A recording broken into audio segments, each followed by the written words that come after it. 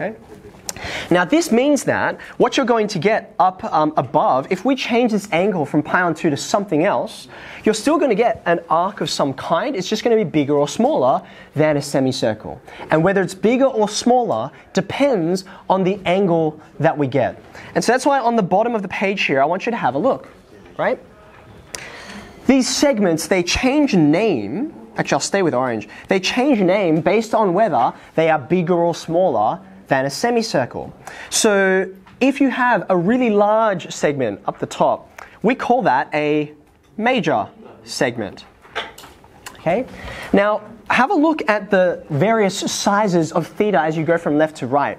Even though theta could be a variety of different angles, if that segment up the top is a major segment, what can you tell me about the size of theta? It's, it's sharp, isn't it? Do you see that? So it's an, like our literal word for sharp is, it's an acute angle. That's why we say if you have acute pain, it's a sharp pain, right? So if you have a major segment, you must have an acute angle. In other words, theta is between 0 and pi on 2. Now we've already looked at this special case in the middle. If you have a segment that is exactly, that is, is bounded by a diameter, right? So in other words, if I am if I'm going through, if my, uh, my chord there goes through the center, then this is the angle in a semicircle. We saw this before. What angle do you get up there? Uh, exactly pi on 2, so it's a right angle, yeah? So you may even like to go ahead and put a corner up the top there. All right, like so. And our last case over here on the right hand side is that if we sort of push that chord up so that you have a small segment up the top. It's not called a small segment, by the way, formally. The opposite of major is minor. So if you have a minor segment, what kind of angle do you get? You get a an obtuse angle. It's very very wide up there. You can see at the top, so it's obtuse. Now, what we've been doing is we've been thinking about change the segment, right? And therefore you change the angle, and that's from pi on 2 to pi. But what we tend to get, if you turn the page over, is actually in reverse order. We are going to get an equation that is an angle, it gives you an angle, and you have to work out are you in a major segment or a minor segment? Will you get a major arc or a minor arc? So let's have a look at these together. I'd like us to, and this is just to not worry about any of the algebra or anything like that, right? Let's just think about where this is going to go. We want to construct arcs that will approximately fit um, these particular points and these particular angles that I've defined for us up here. Okay, so first thing, and I'll just go to the previous page so you don't have to flick back and forth. My angle here is pi on 3. Is it acute, obtuse, or right angled? It's it's acute, right? Pi on 3, so that's 60 degrees. So are you going to get a major segment or a minor segment? It's a major segment. So small angle means a big segment, okay? So therefore, I'm going to be drawing a big arc to make my big segment around here. Do I start at the top left or at the bottom right? I've labeled them very helpfully for you. I'm going to start at the bottom right because this is Z1 and I'm going to go in which direction?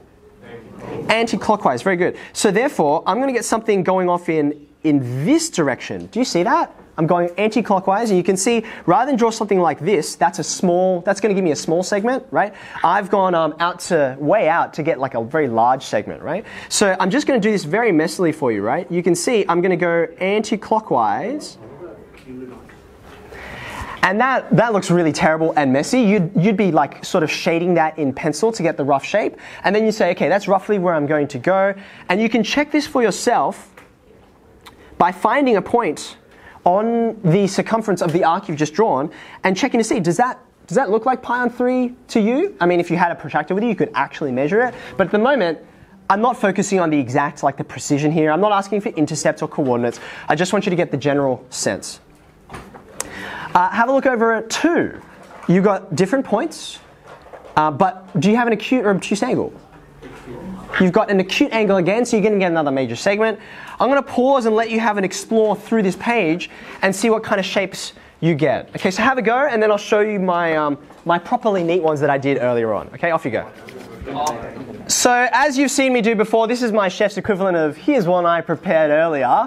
Um, because it really is quite tricky to draw these. If you, I've said this to a few of you, if you have not been drawing with a pencil, um, stop. Like, get a pencil, okay? Borrow a pencil. Um, you desperately need one. Sorry, sir. You start since you said this is what happens. I did. That's right. Um, so, so a cautionary tale over there. Thank you, Mr. Oksinski. What I want you to notice is um, when you have a look at my arcs, right? The first thing is you can clearly see where you get major arcs and minor arcs, major arcs and minor arcs, and they are matched up with acute angles and obtuse angles respectively, right? Small angle, big arc. Uh, I want you to notice, for example, when you look at my pi on 3 and my pi on 4, you can see my arc is bigger for my pi on 4, right? That's because a smaller angle will give you a bigger arc. If you took the limit, as theta approaches 0, you are getting closer and closer and closer to a circle, right? Because if you were having like an angle like that, you'd have to go all the way around the circle to create that angle. Now, I also want you to notice, um, actually, sort of a tricky, sneaky thing which will help you, but I haven't talked about it because we didn't have the time. One of the circle properties, um, which you may have encountered at the end of year 10, but there's a good chance you didn't, is that if you are, and put this onto your diagram right now, by the way, if you are to draw a chord um, that has that, that interval, right? And if you were to take, to go back to what we had a look at last lesson, the perpendicular bisector of that chord, so I'm, that looks okay to me there. So what I've done is um, a perpendicular bisector, so I've sliced my chord in half and I've done it roughly at right angles anyway.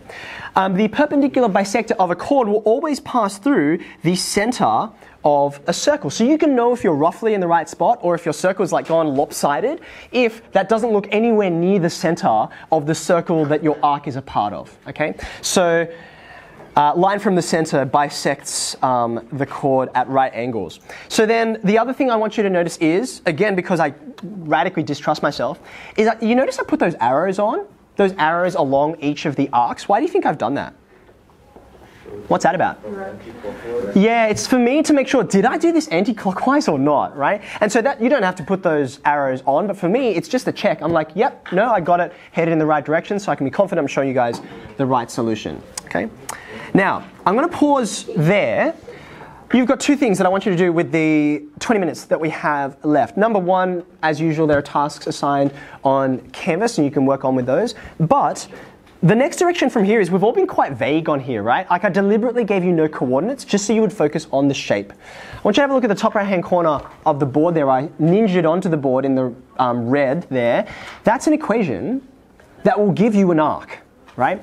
And this time I've given you coordinates and I've given you an exact angle and I'd like you to this time try and work out the Cartesian equation and like intercepts and the center and all that kind of thing of that particular arc. I've tried to make it relatively nice and neat for you so it's not awkward and off at a funny angle. You should be able to work it out with some geometric reasoning. I'd advise you maybe start there and then go to the exercise.